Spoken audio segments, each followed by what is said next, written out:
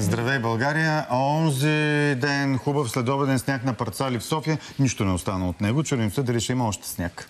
Какви са тия минус 61? Добро утро, казвам Добро на утро. Симеон Матев, климатолога, който е в нашото студио. Добро утро. Ай, не са у нас. Да, очевидно. А, В Якутия, сигурно. Да, това е така наречения полюс на студа в северното полукълбо, Оймякон, Сибир, естествено, но отбелязаха най-низката температура за последните 40 години. Толкова ниска температура Това е не е имал. сега. Това е преди 2-3 дена. Кой отбелязва? Той жив ли е? Не, има и жив е, да. А, жив Да, ли? между другото съм чела, че до, до минус 80 Не, градуса минус стигат. 71 и нещо е рекорда, Аха, което добре. пак е впечатляваща Да. стойност.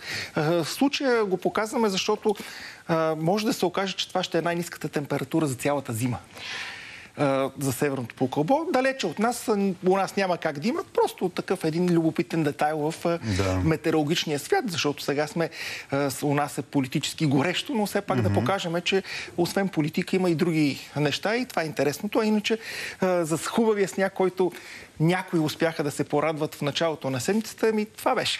А, за тази година, До година общо това беше. До година, ако слушаме, ще има повече. А, действително, на метеорологичната сцена на европейския континент. А, така се развиха нещата, че в страни, където не е нормално да има сняг, като Великобритания, като Холандия, като Белгия, има повече сняг, отколкото при нас, но това е природата. Ние нищо не можем да направим, освен да я наблюдаваме, а наблюдавайки я ги виждаме, че предстои последният, поредният топъл период в нашата страна. Виждате не червено, а чак кафяво от топло. Еми, това са 12 градуса над нормата. Тоест, ако днеска трябваше да е по норма 1 а, градус, то ще стане 12-13. Не навсякъде, защото мъглата така или иначе няма да позволи на тази горещина в височина да слезне долу. Но въпреки това ще има днеска места в страната, особено в Юго-Источна България, които ще докоснат отново 20 градуса. Сериозно. Абсолютно сериозно и това ще се запази следващите 36 часа, т.е. и утре ще има такива температури, а пък се сетих, че утре някои от нашите ски курорти отварят сезона, ще ги отворят на плюс 10 градуса и а, за съжаление тъжна картинка с черни. До кога? Добре, 36 а, часа, а след това тая предколедната седмица, която идва. Да, сега ще пуснат на следващата графика. Да, след а, така, това нормално топло време, естествено, температурите ще паднат, но Надолу както виждате, ето е нормата, черната. Това е нормата. Това е И нормата. сме толкова Виж- високо над нея в момента. днеска, днеска и утре ще сме доста над нея. Ама ние и по коледа ще сме доста над нея, като Чакайте, сега ще има на коледа. Захлаждането, което предстои, айде за студяване, да, ще нормализира температурите, но, както виждате, нищо, кой знае какво съществено. По-важното е да кажем, че да, утре ще превали, в неделя ще превали, в низините ще е дъжд, само по по-високите части на планините сняг, повече от а, 5-6 см нова снежна покривка там няма да се образува, но все пак, където успее да побелее, това ще остане за коледа. По-важното е, че следващата седмица валежи са много малко вероятни. Датите ги виждате, нали? Виждате ги, ясно е. Захлаждане в понеделник, в вторник остава така с отрицателни температури, сутрин до минус 3, 4, 5 градуса, след обед положителни плюс 2 до 7, след това бавно затопляне и последните така прогностични а, схващания на метеорологичните модели сочат, че а, коледа отново ще бъде по-топла от обичайното, макар и не е гореща, но няма да е студена със сигурност, т.е. минус 20 градуса няма да имаме. Снеговалежи с а, вече 80-90% сигурност можем да кажем, че няма да има. Да. А, ако върнем годините назад, това вече е 10-та или 11-та коледа, в която в низините сняг няма.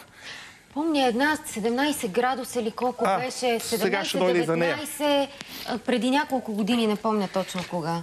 Най-само да кажем, най-неблагоприятният метеорологичен метеорологично явление, което може да очакваме по коледа, това са мъглите. А, има условия за мъгли. В ниските части най-вероятно ще има инверсии, т.е. много хубаво и приятно ще е времето в планините с слънчеви часове, с хубав чист въздух, докато долу в низините е твърде вероятно а, да не е много така по отношение на качеството на въздуха, може да имаме проблем. Това розовкото какво показва? Сега, така преди 20 години някъде също беше 100% сигурно, че на коледа няма да има сняг, но на коледа стават чудеса. В последния момент изкочи един процес, така да го наречеме, който зарина страната с сняг. Това е 2001 година. Заваля на 24-ти сутринта, валя цял ден и на 25-ти сутринта. Това е дебелината на снежната покривка в а, страната. 50 см ли, примерно? Дори, 40, дори в Бургас 90. а, наближи 90 има 60. тук. Да, е, това е в Родопите, нормално е нали, Да. да е повече, но почти цялата страна, с изключение на крайните северо-западни райони. Това е застраховка. Много дебела снежна покривка. Просто а, показвам а, дали а, бялата коледа е мит или е реалност. По-скоро бялата коледа е мит, защото ето какъв случай това се помни вече 20 години. От тогава не е имало толкова масов а, снеговалеж. Иначе а, на следващата карта сега, ако Следваща пуснат, карта, добре. колегите ще видят каква е вероятността по принцип да има сняг по коледа. А, Изследването е направено за последните 30 години и ако искате да видите сняг по коледа, трябва да се качите а, задължително над 1500 метра, където а, поне в 85% от случаите е имало сняг. Но дори, вижте, и дори и там за тия 30 години имаше две или три коледи, в които дори и там нямаше. И колкото по-слизаме на по-низките части на страната... високо поле ли е? Софийското поле, високо поле, да, за 43 до София 55. специално е 46% вероятността да има сняг и естествено най-малко е в крайните южни части на страната и а, морските ни носове, които за 30 години са имали само 3-4 случаи на, а, на сняг. Така Към че... нашото море или в посока Гърция най-малка Всек- вероятност. Ами, а, през последните години по-вероятно е да сме по къс ръкав а, по коледа и с зимно яки и шапки на Великден. А, за съжаление, това е новата реалност. Иначе на коледа, както и Мира каза, сме имали случаи и на, на следващата ни графика, ако пуснат, Сменяме. ще видите, че а, на коледа сме имали и изключително високи температури. Това е за София, 18 помня градуса явно. 2009, виждате 2010 16 градуса. 99-та Нека си ни дал. да видим обаче и обратния Минус полюс, 16. защото по-нормално е коледа да е студена и снежна и виждате, имаме температури до минус 15-16 градуса.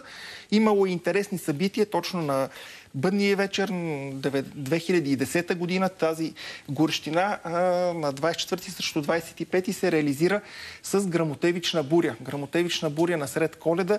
Отново капризите на времето, край Да. нямат, както се казва. 58 не я помним, слава Богу. Еми, не я помниме, но за съжаление... Но 2009 я помня коледа по сако, не през деня, в, когато е слънчево, а, вечерта. Какво прави впечатление, че повечето горещини се случват през последните 30 години. Ето сега някой ще каже, че това е é, не е представително, но трябва да се каже, че през последните години да имаш бяла и студена коледа става нормално, а не изключение. Тоест това е новото нормално. Трябва да свикнем. От тук нататък по-скоро, ако има сняг на коледа, ще ме вканите да кажем, ей, какво беше това сняг, нали, не сме виждали отдавна. Ще се почувстваме Да. като в Якутия. Да, мисля, че имаме още една или ако нямаме... За финал, ако имаме да покажем, Последно, ще да. я покажем. Добре, и може и... Имаме ли още една карта? А, не, това е последната. Еми, добре, значи това е. Значи в резюме да кажем, очертават се спокойни от метеорологична гледна точка празнични дни. Внимавайте в местата с мъгли. Сутрин температурите по празнични дни ще са малко под нулата, след обед над нулата, така че пожелавам на всички, нека времето бъде с вас и всичко да е наред. Благодарим ти по Благодарим традиция, и Весели празници на вас. Вас. Благодарим много.